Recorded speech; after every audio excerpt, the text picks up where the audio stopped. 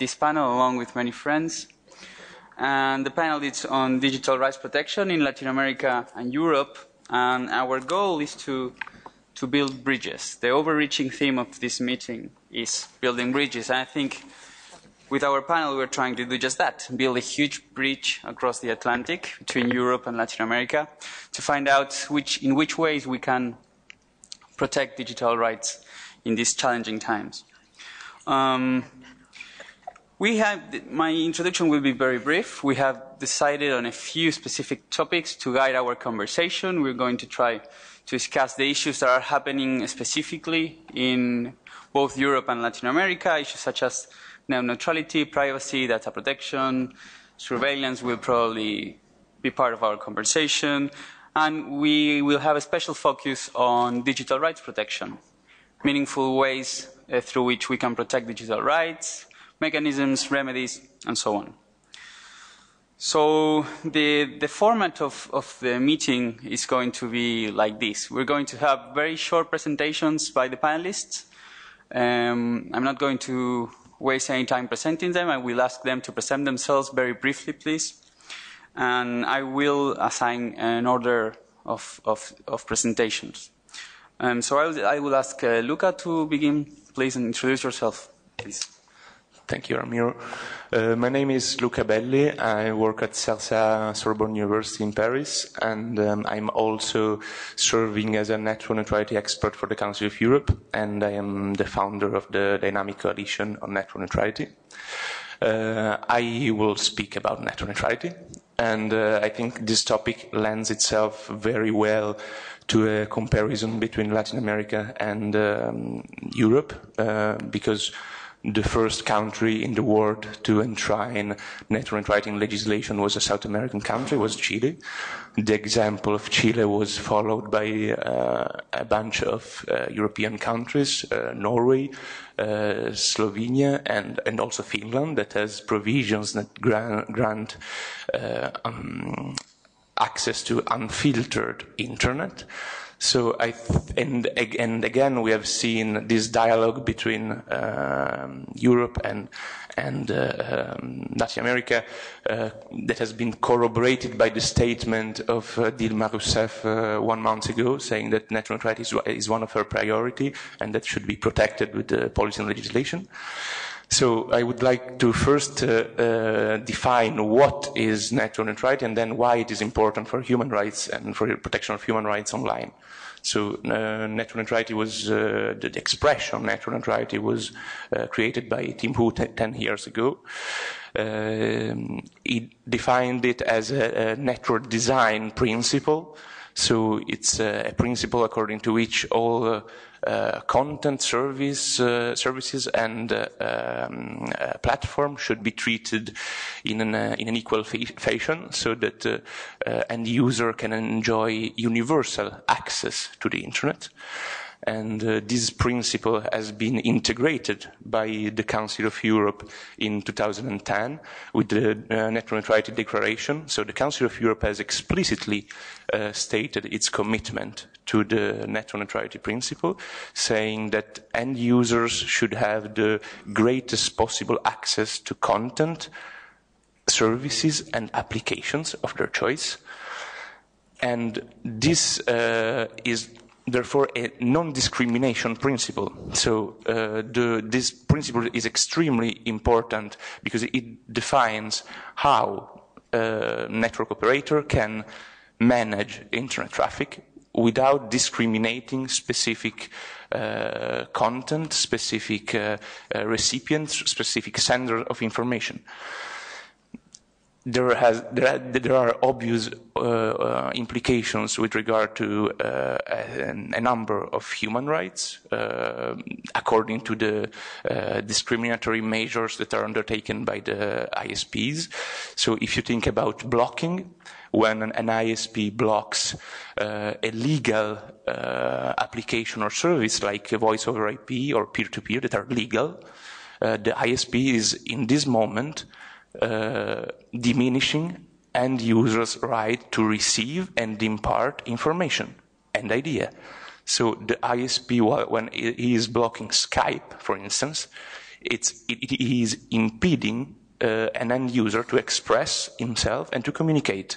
It, um, I, don't, I don't have to remind that freedom of expression is protected both by the uh, Article 10 of the European Convention on Human Rights and Article 19 of the uh, International Covenant on Civil and Political Rights.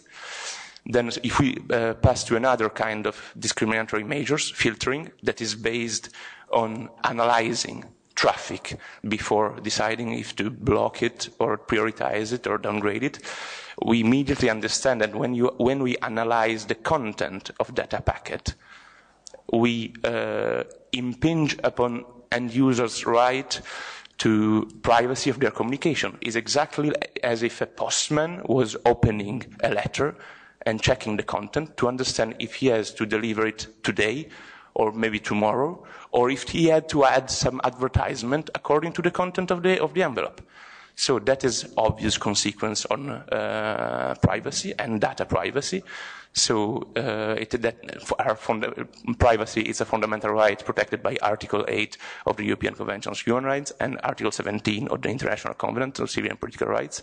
And data privacy is protected by Convention 108 of the Council of Europe. And uh, I would last, I, I, will finish with uh, the last uh, um, bullet point on um, discriminatory measures about throttling or prioritizing. We are hearing a lot of discussion today about prioritization, also because that will be uh, it is allowed by the actual um, uh, regulation proposal for a regulation uh, that has been um, elaborated by, the, by the, the, the, European Commission. It allows for pay for priority offers, but when one can pay for priority, some content service will be uh, will have will enjoy a better quality because they will be prioritized, and other will have a, a, a, a um, uh, less um, less efficient quality. So the uh, choice of the end user will be automatically uh, oriented towards some kind of information, some kind of ideas, and uh, pluralism, media pluralism, will be automatically affected. And media pluralism, the diversity of media content, are essential, essential for, for, the functioning, for the functioning of uh, uh, democracy and are essential corollary of freedom of expression. So uh, I think we have to uh, consider all these uh, issues, and uh, I look forward to discuss it uh, further with you. And if you have any questions, don't hesitate to ask them. Thank you very much, Luca. Carlos Afonso, uh, would you take the floor, please? Sorry, how, how many minutes? Around four to six minutes. Okay. well, I'm Carlos Afonso. I am a, a board member of CGI.br, uh, one of the four representatives of civil society organizations in the board. And uh, I am also, uh, I collaborate with an, a research institute in Rio called Instituto NUPEF. Um, uh, I thank Luca for this good introduction. Uh, saves me a few precious minutes. uh, we are uh, currently in a, in a political struggle in Brazil to defend what we call the civil rights framework of the Internet. This has been uh, originally based in a set of 10 principles which CGI.br, after two years of uh, going back and forth, approved by consensus. And uh, it's basically the idea of having a charter of principles for the internet in Brazil, and uh, which would be a reference for bills of law, for regulations, etc., etc. The charter itself is not going to establish all rules, and the, the idea is not that at all. So one of the big fights we have actually is deciding what belongs to a charter and what be belongs to any specific law. Mm-hmm. This is a big challenge we are having. And I think that the three pillars which are basically being disputed by the different groups is net neutrality, protection of privacy, and uh, one which is quite uh, relevant for us as well is uh, accountability of intermediaries. Now, I remember that in, in the IGF in Lithuania or Latvia, I don't remember. Uh, um, a minister of defense in, uh, uh, of an European country said we have to make the networks accountable, accountable for content because uh, this is uh, uh the, in the name of security and uh, in the name of uh, violations of rights, etc. And we are insistent that, that uh, you don't want to kill the messenger and you don't want to empower the, the messenger with law enforcement. And sometimes there are bills of law, which Brazil itself is confronting now, that uh, suggests that uh, this power be not uh, endowed but imposed on, on internet service providers. So they have, in order to run the service, they have to accept the, you know, the sheriff uh, star here, and uh, and if they don't, they will be accountable. And this is extremely serious and dangerous. No? And one of the key points of the civil rights framework is to make sure that the network is not accountable. The they say responsible for any content are the generators of that content. No? And uh, another challenge we have is uh, that we have, uh, I don't know if you know, but we have every two years elections. Either municipal elections, 5,570 5, municipalities, uh, and now next year we have the, the federal elections which elect governors and the president and federal deputies and etc. And it means that the country is almost permanently in electoral processes, which is terrible. It's good that we have electoral process, uh, dem- uh, representative democracy, but not every year. No, it's, it's terrible. So we are always under the purview of the electoral tribunals. And the uh, electoral law in Brazil is very restrictive, very restrictive. And uh, it's using the power of this electoral law, people you know, uh, uh, can say take down sites, take down content on the internet with a local judge uh, using the powers of a local representation of the electoral tribunal and so on. And this, people look at Brazil and say, no, that's a very repressive country. No, no, it's not. Our electoral law, when it's in, in force, like now, I think be- beginning uh, the beginning of next year, we will be under the electoral law, law for all purposes um, of communication. The, we, we, will be under that, and we have uh, respect the law. No, the law is there for this. So one of our big issues is to reform that law in order not to to violate principles of privacy and of accountability of intermediaries and so on. So the civil rights framework will be above that law if we manage to approve it. And we no? Uh, uh, regarding net neutrality, what is the biggest challenge we have, which is the same as in Europe, I think?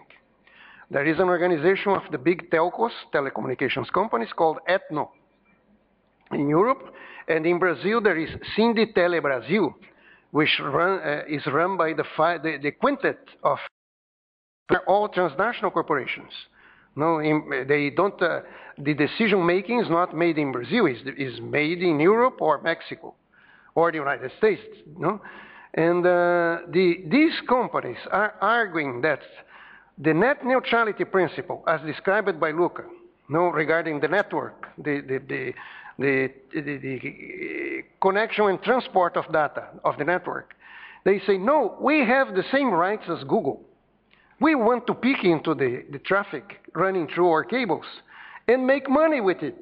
So we have to, to peek into, into all the content like Google does, does in the sessions, no? And, uh, and we want to make the same money. It's unfair for us. That's the argument.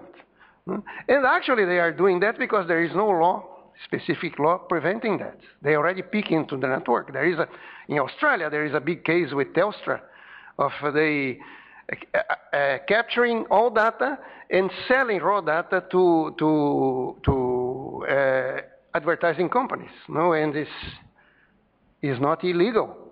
The civil rights framework will make sure that this is clearly limited and cannot be done. No? And why? Why? What's the difference between Google and, uh, say, Telefonica or uh, Italia, Telecom Italia, running the, the networks. It's simple. That user cannot get into the internet if they don't pay TIM or pay Telefonica to get the broadband. This is a paid service, and without it, you cannot get into the internet. While Google is a voluntary service, you are not required or obliged to go there. It's a free voluntary service. No? Once you go there and you agree with terms of service, which nobody reads, no? Uh, you are up to the conditions established by the free service they provide. And you are not obliged to go there in order to navigate the internet. You can live without Google. I am probably the only person uh, in the entire universe that uh, I'm not in Facebook. No? And I can live with that. I'm, I'm, i feel okay. Nothing is happening to me. No? Uh, so um, th- these are key points that we are fighting for. And uh, we hope to win because the, the uh, I'm finishing. Uh, just one phrase more. The, the, the civil rights framework is in a fast track po- process in Congress. So the, all these forces are now doing their last efforts to make sure that they can change things, etc. But we'll know about it next, next week. Thank you. Thank you very much. Thank you, Carlo. Thank you, Luca. I think we're beginning to see a few points of connection, principles developed in, within the Council of Europe, their expression in local laws. Uh, there is a, a, similar process going on between both regions, uh, and we also, I think, have probably similar challenges when it comes especially to service providers and especially the powerful big telcos that Carlos just identified. I'm going to give the floor to Marie.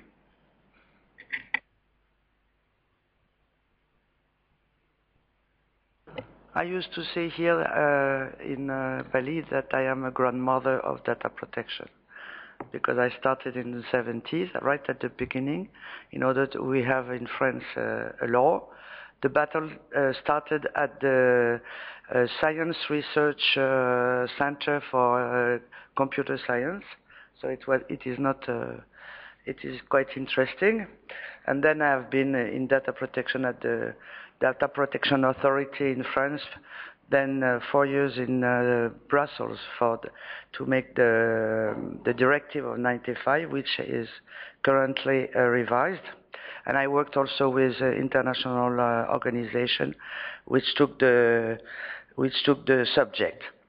Uh, and uh, I, I, I, help also as a, in capacity building uh, new DPAs, which raise, you know, which are set up by laws. Uh, I have been in Africa, in Asia also, and okay.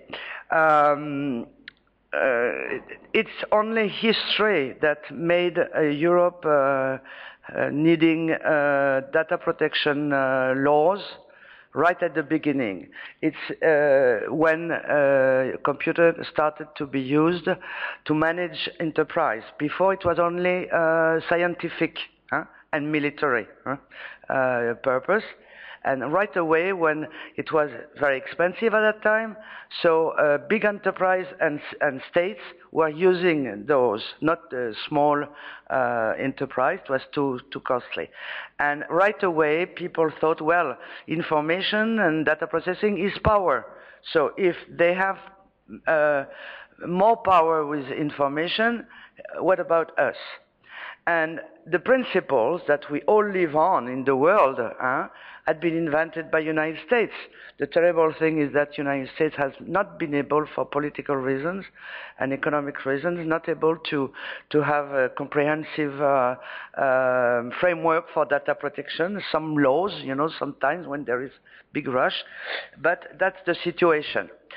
Um, so I don't know if you need uh, me to recall what are the principles. What is interesting is that even today they are still uh, very useful.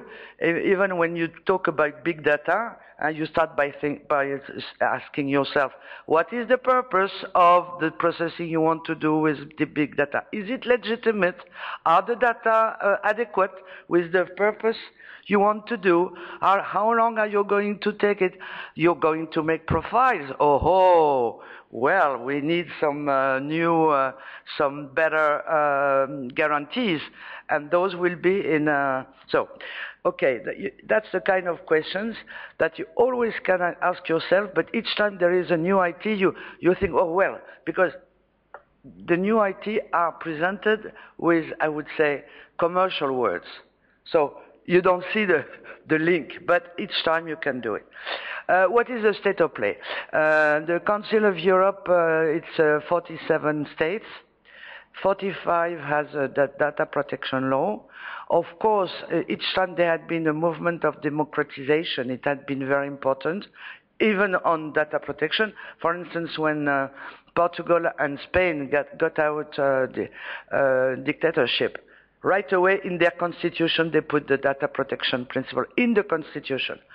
When the, the wall went down in Berlin, it started also, and uh, it had been a mission of the Council of Europe to help all those countries about the rule of law. And, you know, uh, with finance from the EU very often, but the Council of Europe was, um, I mean, it's, it's a human rights uh, organization. Huh?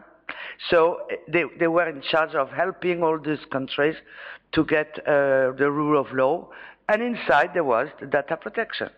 Because the Council of Europe adopted a convention. It's the only uh, international binding instrument on data protection with all the principles I told you.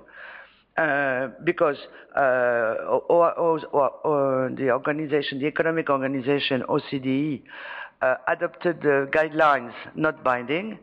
At the beginning of the discussion on the convention, US was there at the Council of Europe. And when they saw that Europe wanted to, to make a binding instrument, they went away and they made uh, only guidelines in the OECD. Then in 90, 1990, the UN adopted unanimously at the General Assembly all the principles unanimously. But the UN didn't do it, didn't do much since that. It could change, but it will take time. But look at those principles, they are very technical, very interesting. The same that are in the Directive of Europe 95, which is uh, updated now. Um, this uh, convention is open to third countries. Uh, the first third country which uh, adhered to the convention is Uruguay, 1st of August uh, this year. Morocco is in the process of adherence, and some, some other also. Uh, you know that since uh, 2000, many countries, uh, the, the rate of adoption of data protection laws in the world is go, going fast. Huh? Uh, and since 2000, many. Uh, today, uh, according to Uh, uh, a colleague from uh, Australia, there are 101 countries with data protection. The last one is South Africa, last September. And uh, the, as I told you, uh, the, the, the, convention is on revision. The idea is that to, to get data protection sustain, sustainable, with the IT going fast, you need to be sure that all the time the, the members of the convention, the parties, are still in, in, in uh, align with data protection. So uh, the new uh, convention uh, will have have several uh, aims. First, uh, no choice. The, all the parties have to apply data protection in all sectors, even secret services. Thank you. Uh, that was said two, two years ago, before. Huh? Um, electronic and manual data. Huh? Some rights are reinforced, especially regarding profiling. Huh? You can context, you can uh, know the logic which is behind uh, data processing and so forth. And the committee will, there is a committee, one party, one vote. The committee will assess the level of protection when there is an, an adherence to the convention, because you need to have a law to adhere to the convention. Uh, this is very good and there will be assessment uh, every five years about. And also, what is interesting is that the principles has to be applied to particular sectors and so forth. And the Council of Europe already, through the, the committee of the convention, uh, elaborated a lot of uh, recommendations. uh, there are two very famous. Uh, the the one on police, which became right away binding in, U, in EU uh, from the Council of Europe. The telecom one, which is copied in many countries, even if the Council of Europe does, which has not much money, doesn't go to, to make a lobby about their, their work, you, you find the, the, the, the, the recommendation in the law. I just uh, wanted to tell you that uh, uh, many of the, the countries of uh, Latin America, as other countries, uh, other continents, had been invited uh, for the last, the last step for the adoption of the new convention. And uh, in, um, in uh, Latin America, those which had been uh, invited are Mexico, Argentina, Bolivia, Chile, Costa Rica, Ecuador, Nicaragua, and Peru. Because those started works, and I was hearing our colleague from Brazil, and as I have been invited two years ago to Brazil for the data protection draft law. I wish to know where you go, where you are, and we will be very interested to uh, continue to work on the application through. So first the, the modernization, and after that when you are with us. But you can contribute anywhere on the world level. Uh, so uh, I can give uh, other uh, details if you need uh, further on. Thank you. Thank you very much, Marie. Um, I think it was, uh, yes. A, phrase, quick in, what she asked. Yes. The data protection law in Brazil is going through Congress now, and it's a very protected process. Thank you very much. Um, I think an interesting point, the history of data protection in Europe had a huge impact in uh, Latin America, in our own data protection laws. It's an interesting uh, thing you mentioned about the, the, the, the, way uh, countries transitioning from authoritarian regimes begin to adopt these regimes, and it, uh, it seems like uh, because of recent revelations, uh, it seems like an interesting moment to reassess uh, these laws in terms in terms also of, of transition of transitional justice and so on. Um, Ana Lucia, please introduce yourself. Uh, thank you. Um, my name is Ana Lucia Lenis. I'm the manager of government affairs for Google in the Andean region in Latin America. Uh, thank you for this invitation. I'm glad to be here. Uh, maybe uh, I want to, to highlight uh, some uh, some issues about uh, data protection to continue the debate that Marie started. Um, I think that uh, I can share a little bit uh, the experience that we have in Latin America. And we have been involved in data protection debates around uh, our countries. We had uh, the law in Mexico a few years ago, uh, the debate and the laws in Colombia and Peru um, last year, and the development of the regulation during this year. So we have a new data protection authorities in our countries. Uh, this debate, we have a, uh, an open process in Peru, in Chile, sorry, and additionally we have regulation in Central America. So we see a lot of new regulation and new data protection authorities in our region, and it is very important uh, to continue this, uh, the, the, the, the, debates and the work, public workshops, the opportunities to debate and see the what is happening in other regions, especially in Europe. We have the Ibero-American Network of Data Protection, so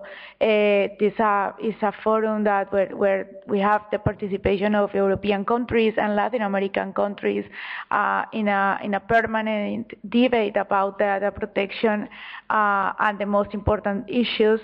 And Additionally, we, see, we are seeing a lot of local and regional international workshops in Latin America about this uh, important issue. Um, maybe I, I, just wanted to highlight the importance of, of, the protection of the privacy and the data, and additionally the balance and the importance too of the free flow of information and guarantee both rights in the in the legislation. So we had a lot of very interesting debates with the authorities, with the with the congressmen, uh, with with government uh, about how to co to concrete uh, on how, how to uh, to, uh, to guarantee this balance in the laws and finally in the regulation in a very, very interesting debate in our region. So uh, this is an invitation to participate because we are still, uh, we have uh, open debates in around all Latin America. So maybe it is a good opportunity to highlight uh, the, the importance of the participation of all the stakeholders in the IGF in those processes and in our region. Thank you. Thank you very much, Ana Lucia. Um, I, I, I, was, I was asking about posing a question that I will throw to the table, and maybe we can go back to it uh, during debate. But I was wondering what kind of uh, measures can be taken, not only to pass laws on data protection, but to make them effective. I mean, uh, there have been a few, I know of a few cases where the problem, the, the, the, the, the, the part of implementation of these kinds of complex laws is, is a real challenge.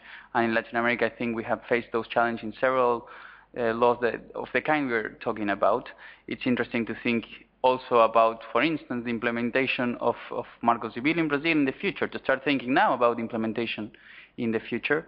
Uh, and also uh, connecting uh, both points uh, that was mentioned before, in which ways powerful actors such as telcos can be uh, can be uh, made to abide by these laws, which is part obviously of implementation.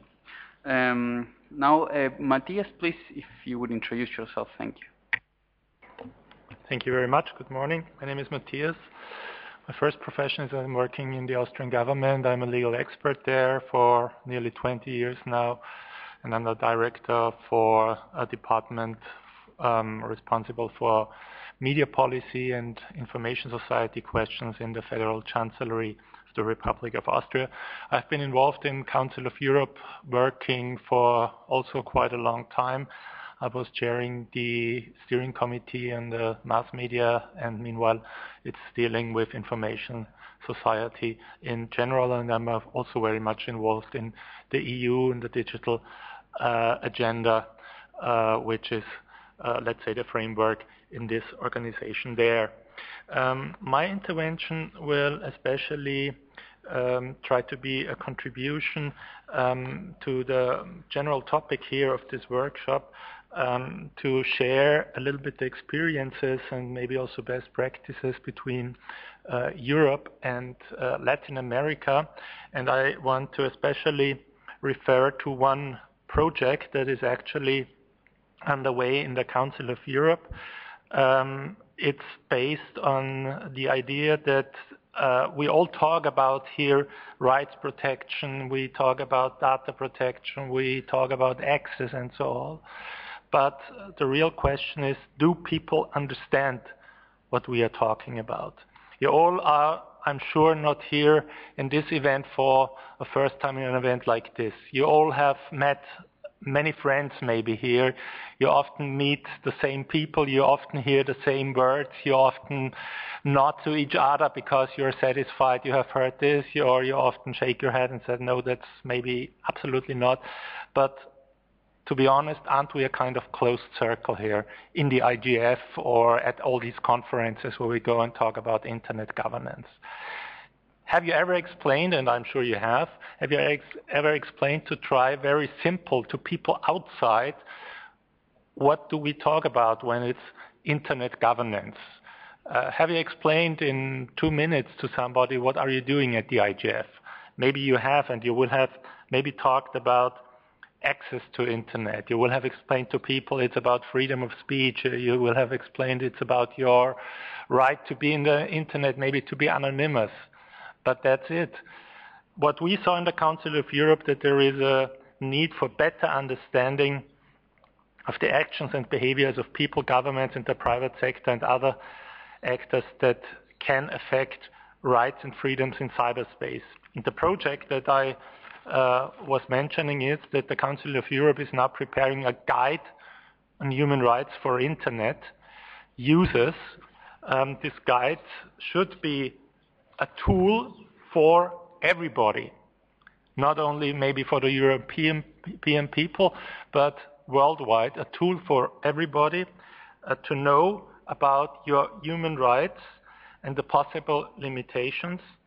It should give you information and orientation, what they mean in practice when you go online, um, how they can be um, relied, how you can rely on it, uh, how you can act upon your rights.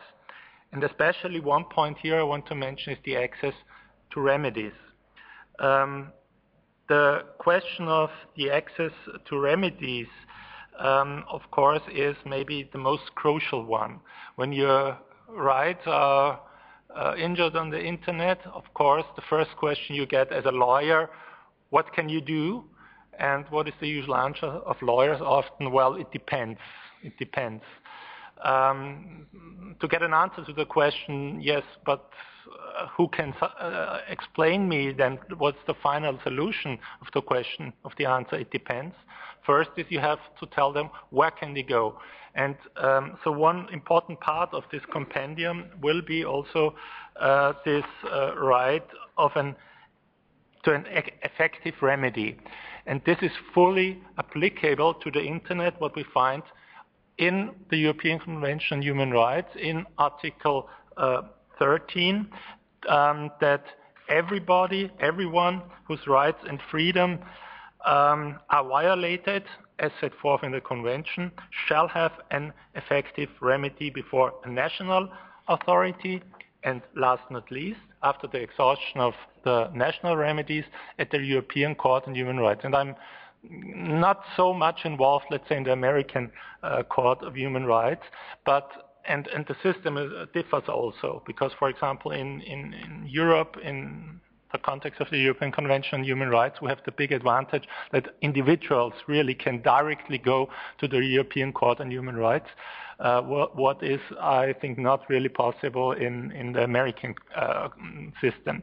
Nonetheless, to go to the court and say, for example, my internet rights have to be infringed, um, this is often a long way. You know, it takes four years, five years, six years. So you have to know also what are your remedies maybe on the spot. And this is, let's say, uh, quite a delicate issue because it's not only that you tell people, okay, go uh, to the next authority because which authority is responsible, go to the next court. But, and this was also expressed in this guide, remedies, effective remedies are corporate social responsibility. So it's not only a question of, let's say, the state authorities, but as we all know, and my friend from Google, for example, here will know that very well. It's also um, responsibility of the companies, of the, uh, um, let's say, stakeholders in various uh, positions. Um, why the state finally has a positive obligation, that what the court says, that also that everybody is also protected from attacks to human rights from private companies. And so it's necessary that already private companies do on themselves think about um, strategies how to help users to understand their access to remedies. This all is covered in this compendium. I am very much happy to go more into details in that. I just uh, want to inform you that this handbook now is underway. There is actually a consultation on it going on. We invite all stakeholders also to do a contribution to that. You will find it on the Council of Europe's website under Information Society. I say it very simple. You just Google it. Yes, Compendium on Guide on Human Rights for Internet uh, Users, Council of Europe. You are invited and um, as regards the time, the adoption of the guide by the government, the Council of Ministers, is scheduled for early uh, 2014. Thank you very much. Thank you, Matthias. Uh, Lucia, you wanted to say something? Only a quick moment. Uh, we are um, thank you for your comments.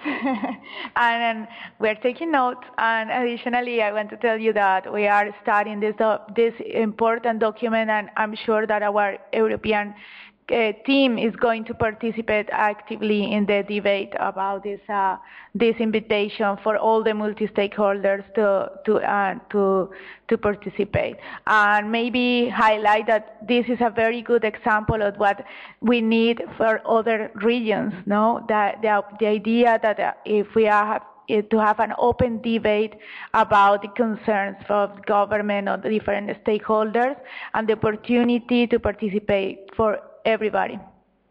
Thank you very much. Uh, another short intro. Uh, in, uh, sorry, go ahead. okay, so I just want to, to build up on what uh, they were saying uh, about remedies and about an open debate. About remedies, yes, it is uh, essential, uh, coming back to, to, the discussion on net neutrality, it is essential to define what is it, what is not, what, which are the limits, and uh, who, what are the remedies, and who is competent for the remedies, and how long does it take to reply to a, to a complaint. So two anecdotes about this. Uh, one is from uh, South America and the other one from Europe. So uh, from South America, uh, Chile, uh, the, the, authority that had to, um, that is responsible, is competent to analyze the complaint, was found out as sitting on thousands of complaints that it didn't analyze because there, there was no rule that was expl- explicitly specifying that he had to analyze in a timely uh, fashion. And another anecdote from Europe, uh, since 2009, the telecom package, its uh, directive uh, 140/2009, states that uh, all the uh, the uh, when the the measures that uh, defi- define how content should be uh, accessed and used online should be compatible with the European Convention on Human Rights, but it does not define who should apply the convention and how. So since four years, we know that measures should be compatible with uh, uh, human rights, but we don't know who has to apply them and how has to apply them. And the BEREC uh, uh, the body of the European uh, regulators of electronic communications has, has stated explicitly that electronic communication regulators do, are not competent for human rights issues. So we know that we have to apply them, but we don't know how, and no one has the competence to, to do it. So if I can add the last uh, uh, point, what is essential is to have it is to involve all the stakeholders in the debate, not just to be demagogic and say every, all, everyone has to, to, speak, but to have an heterogeneity of point of views and to analyze all the different facets of the debate and know which are the issues that should be tackled and how to be effective. Uh, Thank you. Okay. Thank you very much. Uh, sorry, I, am going to move to Claudio because we I don't want to. Then we can open the floor to discussing all the issues where. Oh, thank you. Uh, I would like to thank uh, Ramiro and ADC for the invitation. I think it's quite important to uh, to have these conversations and started thinking how uh, to connect uh, to why different uh, reality between what is happening in Latin America and what is happening actually in Europe.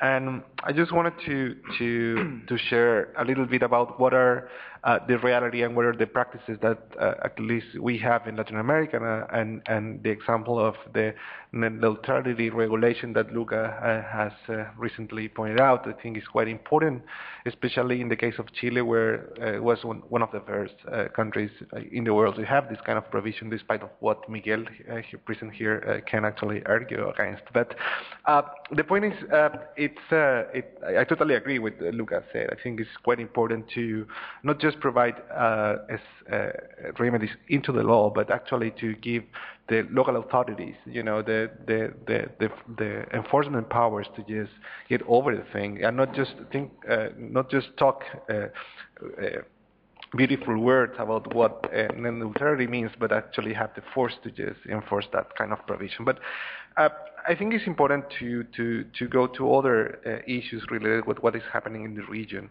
And I think it's important, uh, at least taking into account uh, two important issues that have been discussed in the last years. Um, which is the cybercrime regulations that we have, and especially what's copyright and how copyright regulation and has been a very important um, uh, ways to uh, somehow uh, affect human rights uh, from the point of view of, of, uh, of uh, rights of the users. And I think it's important to take into account a couple of, of experience or legislative experience that we uh, have that we have in the region in the last years, especially the case of Brazil, for instance, can be very interesting and it's very it's very wide opening at some part. All the, the, the public drive and process that they have in the Marco Civil, despite of the fact that we don't have a very clear idea what will be uh, the last word there and what will be the results. But I think it's important to not just thinking about uh, good examples, but also bad examples. And we have tons of them in the region, sadly. And um, I think, for instance, in the, the, the last example of, of, Peru, for instance, a couple of uh, weeks ago, uh, a new uh, cybercrime regulation was uh, uh, was was discussed into the Congress in in, in, a, in, a, very short process of five hours, and um, and actually was a very complicated law. It has a lot of provisions, very complicated from the human rights perspective. And I think it's important to just take it into account why that is happening. And from the civil society perspective, where I come from, uh, suddenly I just uh, hear a lot of ex- uh, explanations for that. And especially when, I, when we're talking about uh, copyright, this is quite you know clear because uh, from civil society, we always try to, to, to think about what are the reasons that why we have that kind of regulation. And one of the, the main explanations that, that came up and popping up uh, very easily, it's about that our congressmen uh, doesn't have any idea about what it, the internet it is about. Uh, and actually, uh, a lot of examples are related with that, saying that, well, there's a lot of congressmen that doesn't use, you know, any email at all. And that's, you know, it's one of the most feasible, at least, uh, re, uh, explanations that why we have that kind of regulation. But, you know, I think the, the reality is uh, a way more complex than that. And that's not uh, especially uh, the case of why we have this kind of uh, complicated regulation. And I, and I, have the feeling that the explanation for that is at least in two ways. The first one, it's because of the lobbying efforts that we have been facing. Maybe in, in Europe, uh, it's uh, you have a more structured way to just you know handle that kind of pressures. But in the case of Latin America, it's it's a whole different story, and it's so diff- it's so difficult to just having a, a, a more you know a reasonable re- reasonable uh, conversation between all the stakeholders because of the pressure of these companies all over our governments. And, and, and I, will, I would like to, to, uh, to take what Mat- Matthias said about the better understanding of the, of the law. And I think that's a very important issue. And I totally agree with what you're saying, and I think it's a very important effort that, we, that you're, what you're driving. And, and I think it's, it's something that can also uh, help us to explain what is happening into the region and maybe to have a more uh, uh, fruitful conversation into the region too. And, and, I think just because I'm running out of, time maybe, that uh, the force that the, the, the, human rights, or from the human rights standards point of view, has been driven by, by Frank La Rue or for the special rapporteur Catalina Botero in the case of the Inter-American system are very, very important to just, um, this is something that I, that I talked about uh, yesterday in another panel, and about what the human rights standards that apply to the internet are because it's quite easy to just talk, you know, very uh, wisely about the thing. But I think it's quite important to just to set what are those standards? And in the case of Latin America, at least, we have a, a, very important uh, uh, jurisprudence over freedom of expression, for instance, in our uh, international, inter-American um, human rights system, uh, uh, which I think is quite important for all the actors taking into account to just uh, have a very more, you know, uh, uh, interesting conversation when we're talking about about that standards. And secondly, I think it's important uh, talk about the, the free trade agreements and how that uh, FTAs are affecting the way that our uh, our countries into the region are are taking into account all this discussion over human rights and the internet.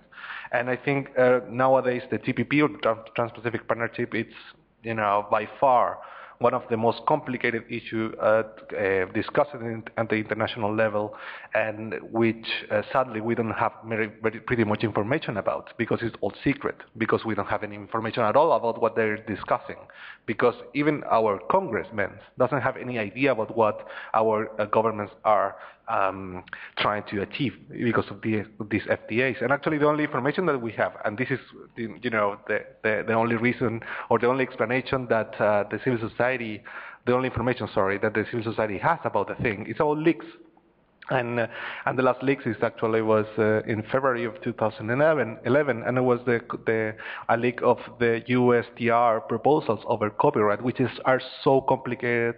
They're so against any human rights standards over freedom of expression, and actually some of those uh, regulations are even more. Uh, they go for, uh, uh, forward about what the actually the U.S regulation they have on copyright. So I think that's a very important issue uh, to think about when we're talking about um, relationship between human rights and the internet. And, and finally, uh, I think it's important uh, to think about how to solve the gaps of information because the, the information gap that we have, um, it's one of the key issues when we're talking about this. Maybe when, if we have a more uh, feasible information about what about the discussions, about the standards, and about the practices, can be so helpful for our um, regula- regulators to just have a very, better understanding and therefore better laws applying to human rights and the internet. And I think uh, and this is an example that I, I, I can talk a lot because uh, uh, uh, I've been part of this co- little coalition of civil society organizations on, into the region, uh, which is part Derechos Digitales, of course, ADC in the case of Argentina, uh, Karisma Foundation in the case of uh, Colombia, and FGV in the case of Brazil, where we have done in, the last, in this 2013 uh, Digital Rights Latin American newsletter that I, am inviting all of you, if you're interested in discussing about what is happening in the region, uh, to take a look at it and, and subscribe maybe to this newsletter where um, you have uh, eight different articles uh, and new articles each month uh, where these civil, this one of the most important civil society organizations on the region are, you know, analyzing critically about what is happening in, in, in our in the digital rights perspective. So I think it's important to to solve these gaps. What civil society can have can do is very little and it's very short term, but at the same time, I think it's important. And it's, this is at least this newsletter is a first step to solve a lot of information gap that we have, and I think uh, it's important for all of you to take that into account to just uh, to move on and have a better understanding of human rights issues into the internet. Thank you. Thank you very much, Claudio. We have a lot of issues on the table. I was going to try to summarize this, but I'm not going to do it. I'd rather have a, to start a conversation. So maybe if uh, the audience is interested, uh, we can take uh, two short comments, please. Um, Somebody?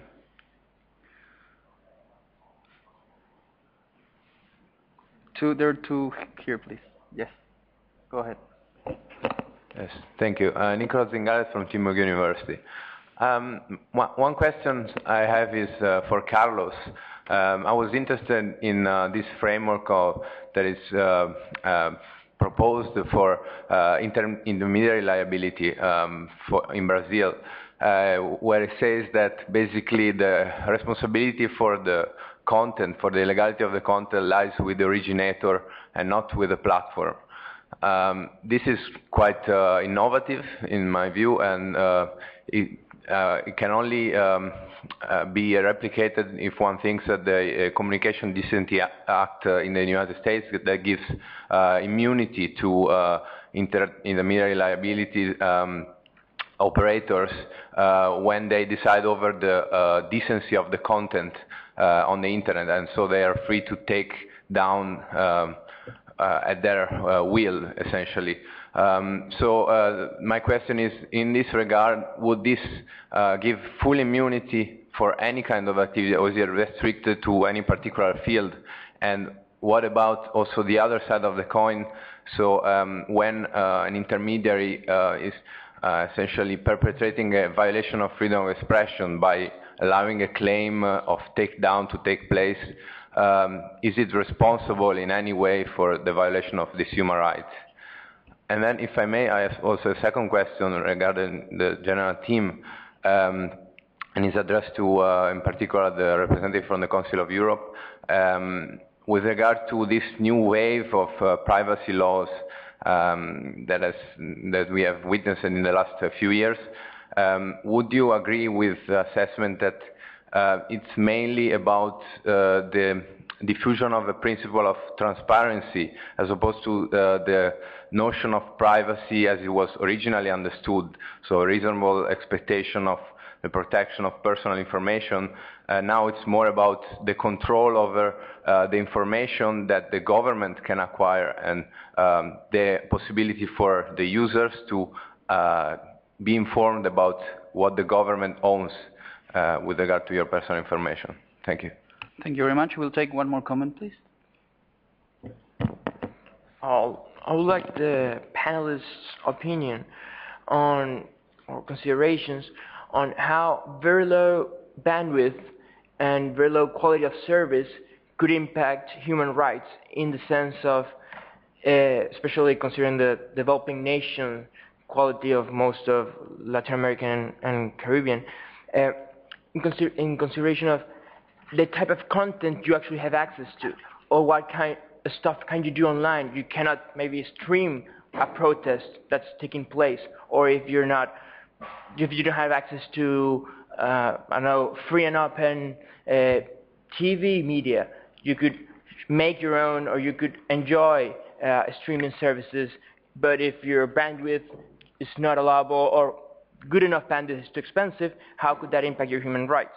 And I also make, would like to make a quick point of, while I really enjoy the very productive high-level discussion on, on human rights online in, in, in both regions, I would like some to I'd like the panelists to put attention to more basic discussions on very very important human rights issues and how they apply uh, online. Stuff like uh, I know, for example, in Venezuela, the Juez Afiuni, which is a very well-known case, is being prohibited to talk on, of their own case, but also she's being prohibited to use social media at all. So she can't even tweet to their friends or post pictures to their family without risking going to jail because nobody, because the government is trying to prevent her to speaking out, but also limiting every other chance she has to communicate with friends and family. And uh, stuff like uh, previous, previous censorship, censura previa, uh, that's being built in many countries in the region, but it also applies online. Thank you very much uh, for both questions. There were a couple, one that were addressed specifically and others to the panel. We have also remote participation. I would ask the panel if we can have a quick response very briefly to the questions that have been raised, and then we can move to the remote participation. So whoever, uh, Carlos Afonso or Matthias, please. Carlos Afonso. Um, the, the question regarding respons- uh, accountability of intermediaries uh, in the Marco Civil is precisely to make sure that uh, um, there are the, the, due process of law is, is guaranteed for taking down content. That's the main focus of this, this component of the uh, civil rights framework. And uh, uh, one of the paragraphs which is there, uh, and we are fighting against it, is one which makes an exception for uh, uh, intellectual property rights content. And uh, the big media companies requested that there is a paragraph which allows them to require to, re to require content to be taken down if they argue that this is a violation of their author rights or intellectual property rights without due process of law. And this is, is a thing that is unacceptable because, you know, you have to argue first if this, there is an intellectual property rights issue and you, you, you have to have the means to prove it before you take it down. So this is, these are the main uh, things that are there. Now, of course, you have providers who also generate content. And, uh, you know, in which capacity you are judging them or, or, or are they committing any uh, illegality regarding the current laws of the country, either online or offline? Many rights and many obligations are valid, valid online and offline. You know, are things that are in the, char- in, in the constitution of the country, in, in, the body of law of the country, irrespective of the media, irrespective of the communications media. So this all is considered, of course, taken into consideration. But what is important is, uh, and also the banks are pressing very strongly for that, no? that transferring to the host or to the internet service provider responsibility for a security breach in, in, in, in e-commerce or in, in bank transactions. No? And uh, the phishing or whatever that happens is, is the responsibility of the host? No, it's not. No. If it is, it has to be proved first. And this is, this is the, the spirit of the law, is not to, to, to allow providers to do what they want. Not at all. Absolutely not. No? Thank you very much. Uh, Matthias? Thank you very much. I just want to come back to the question of the gentleman's uh, point. Um, is it a human right to have, as, as far as I have understood you, a kind of security that they have a quality of service on the internet a basic level, right? And this is, of course, I think one of the most interesting and most crucial points that have to be or are, of course, also discussed within fora like this. I mean, um, to get now an answer to, to tell you yes, in principle, I would say we have, um, you, you really have to look at this question from various views. But as regards the concept of the European Convention on Human Rights, the older conception as it was seen by the by the European Court, the answer would have been maybe no. The answer would have been, well, state should not intervene, should give people their freedom, um, and if, if the state intervenes, then there, of course, there are remedies and so on. The concept within the last years and, mm, and together with the right of privacy, it's more than 20 years meanwhile, but also now with Article 10 of the Convention, it's more and more that the state should not only refrain, but really has a positive obligation to act and to really uh, more and more, you, you find in a repeated way, he really has uh, to take care of a kind of environment also for people that they can make use of it. But this would go now very far. Would it mean, and this is the question, that you have a right towards the state, to go to the state and say, I live in a region somewhere, maybe here in Bali, uh, because I, I, was touring around in Bali, also as a tourist a little bit. And when you talk to people um, 50 kilometers from here or so, um, and to young people, I spoke to a 20-year-old uh, man who was guiding me around in the rice fields. Uh, he was very smart. He was very open-minded, very interesting. Also, what this conference is about. Well, and then I asked him, okay, do you have Facebook or so? Yeah, we can stay friends on Facebook or so. He said, I never have been on the internet so far. We have no internet. My parents, neither do we have it in the, in the village, nor, do, nor can my parents afford it. In the European co- Union context, you know, where everything is seen from a very economic side and from a very uh, well-equipped side, um, this topic is discussed under the universal service. So there is the question, the states, for example, have the uh, real obligation and this was within the last decades, that everybody has access to a public telephone. As regards internet, European Union so far, and the European Union means member states so far, were very hesitant to say we give a guarantee by the state that everybody has access to the internet. Nonetheless, I think this is especially um, the crucial point. And when you look from the Convention on Human Rights, um, you have the right to education, you have a right to knowledge, and you have a right to non-discrimination. Um, when I started my job 20 years ago, we had a court case at, in, in, Strasbourg. It was about the Austrian broadcasting monopoly. It was the Lentia case. In this uh, case uh, decision, there is one sentence which is quoted all the time. The state is the last guarantor of pluralism. which was interpreted in the way that, well, if pluralism is not guaranteed, the pluralism of be it knowledge, the pluralism of information, the pluralism of be it maybe also access, then the state has to be active. And if we come now to a, um, and I think we are already in this time, that you can get the variety of opinions, um, the access to knowledge, only by the means of internet nowadays. To have it in a non-discriminatory way, I would say we really should discuss and maybe fight for a kind of minimum access obligation of state. But I know this is maybe still a long way, although it might be frustrating.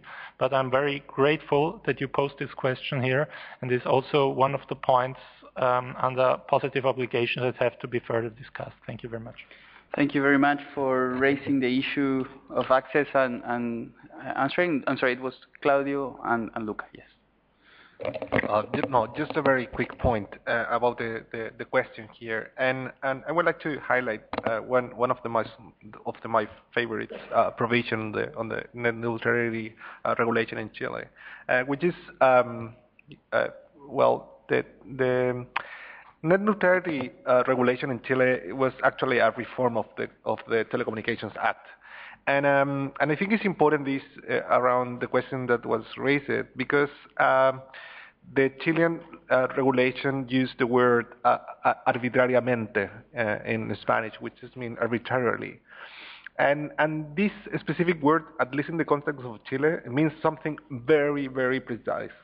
And, and actually, in the case of Chile, we have a, a very important jurisprudence um, in the Supreme Court about what that word exactly means because it's, it's used uh, it's used um, in the in the um, fundamental rights uh, uh, regulation. So and and what what the, the Supreme Court say, said about what arbitrarily means it's puro capricho, like pure whim at the end.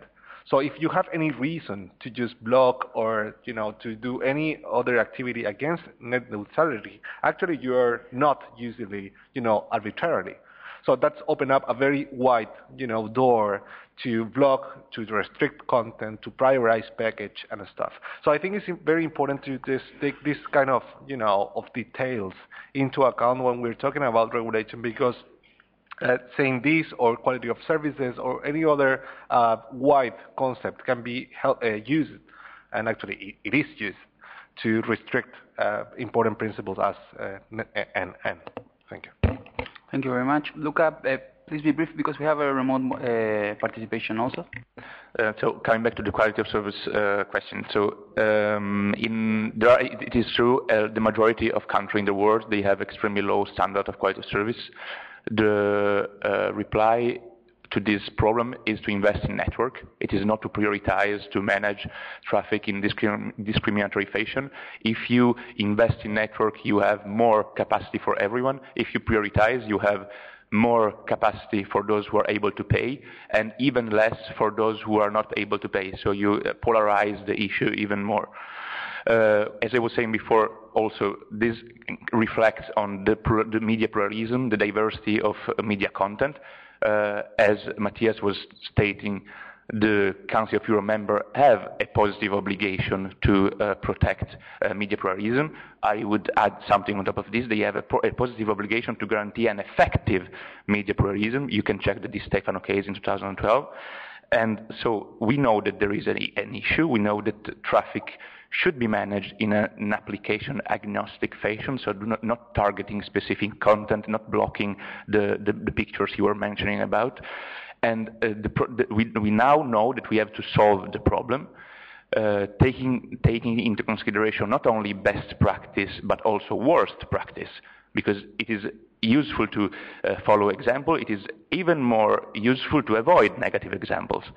Uh, we have tried during the last three months to elaborate a model framework on net to, to protect net neutrality, trying to, to transpose the ITF uh, standardization process to policy-making process, also following the example of the uh, Getulio Vargas Foundation in the elaboration of the Marco Civil.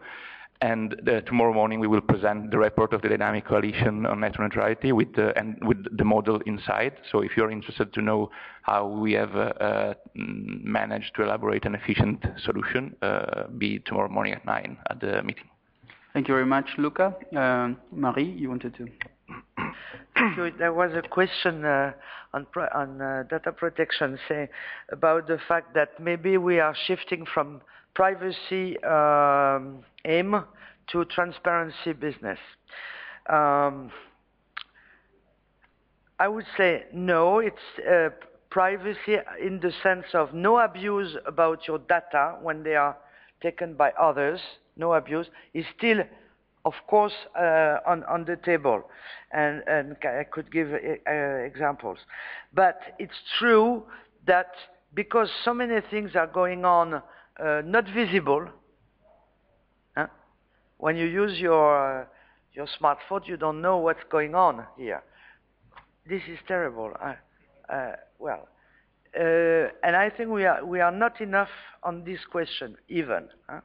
So, uh, transparency, yes, more and more, uh, it has to be said to the person concerned. What is the purpose of the data processing? What data? Which person will get them, uh, how long, even how long you are going to keep them. And this kind of transparency uh, is a way also for you to control, but also it's a preventive measure. If the data controller tell you, has to tell you something, if he lies, it will be a problem. So he has to, it is more to be in conformity. Uh, now, uh, I would like just to add something also, also, about our moderator who asked about effectiveness. I wish all the international services, those which sp spread over the world, would apply the laws of where they, are, they have users. And, uh, well, excuse me, Google, but uh, you know that uh, for one year and a half uh, in Europe you have a problem, and that now you are going to get fines very low level, you're lucky, but with the new, the new directive, you will get uh, maybe 5% of your annual revenue. Okay, so please, and I would like to uh, ask a question to uh, all of us. It's strange that years before, when you were talking about uh, producing an object somewhere in the world, huh? uh, a bottle, huh? In, in somewhere to be sold on all over the, the world.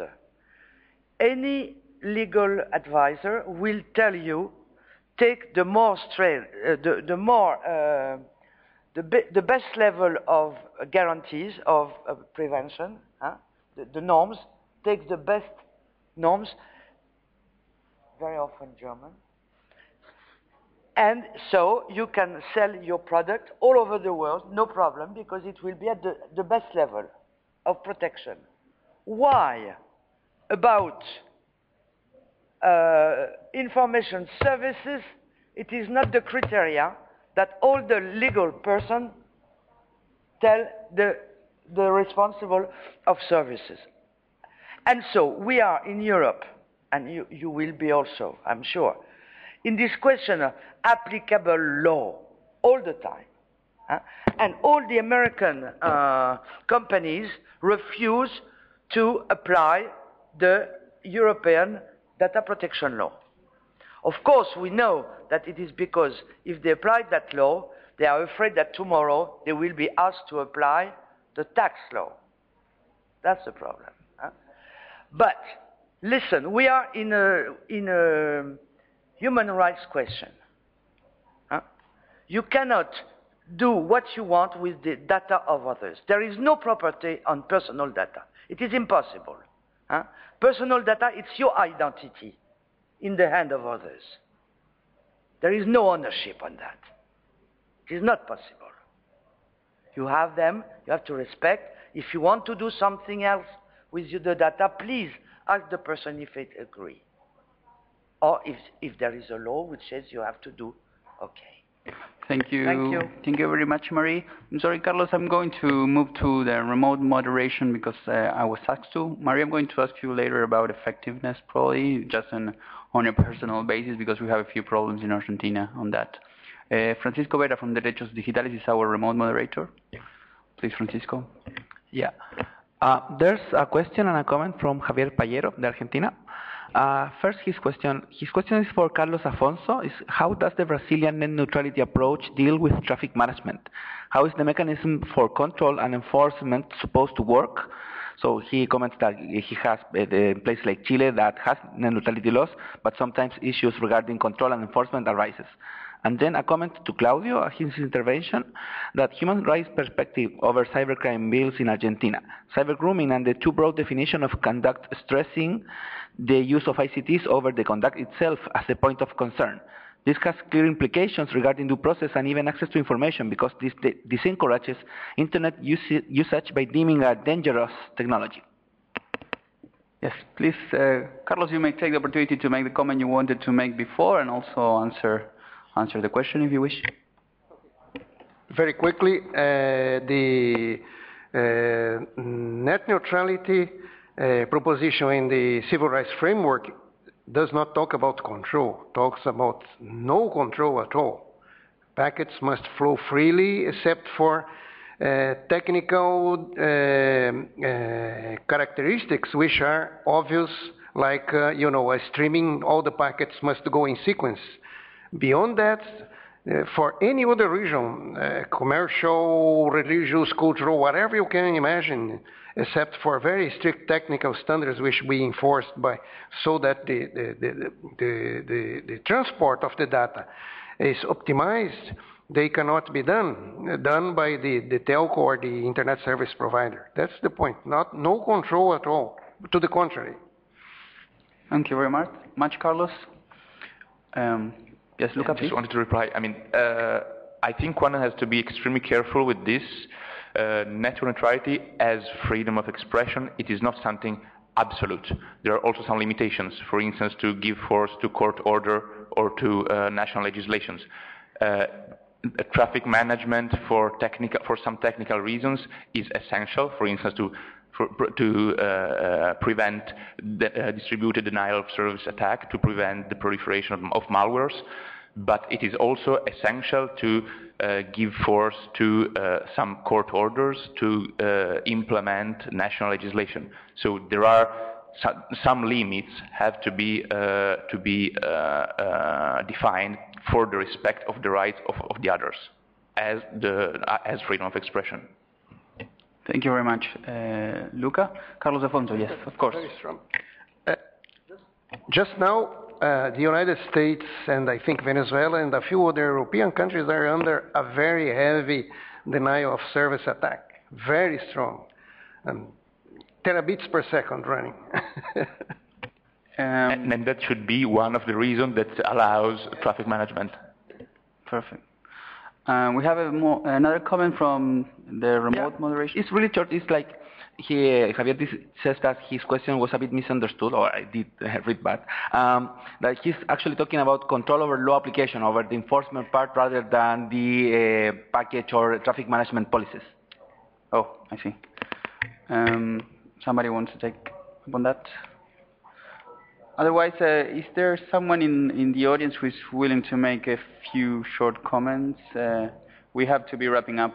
Uh, yes, please, the gentleman. I would like to just make a small comment following up what was said by Luca.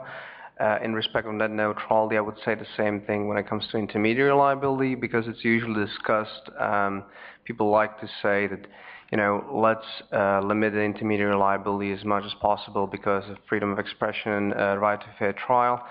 Uh, but there's also other part of issue, um, which is the right to effective remedy, which is quite often considered to be part of the particular conflicting right. So most of the people, when they talk about takedowns, they obviously think of IP, but it quite often also concerns personality rights infringement or privacy infringements.